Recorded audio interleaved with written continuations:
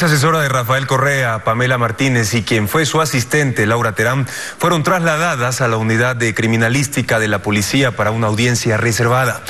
También se convocó a la defensa de los otros 24 procesados en el caso Sobornos 2012-2016. En la diligencia se debía extraer y materializar el contenido de un celular negro modelo iPhone que fue incautado en el allanamiento al domicilio del exministro Vinicio Alvarado, quien también está implicado en esta causa.